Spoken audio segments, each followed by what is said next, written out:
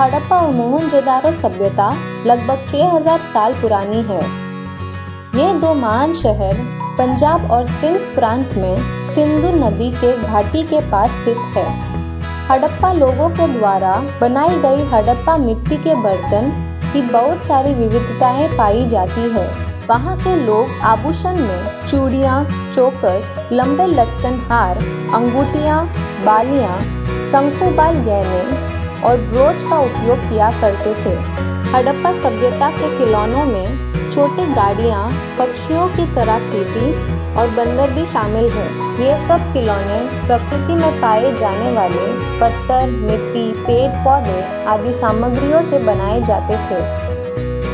हड़प्पा सभ्यता अपने बर्तन बनाने में सही पैटर्न्स का उपयोग किया करते थे। इनकी सबसे पारंपरिक डिज़ाइन गोल आकार में पाई जाती है।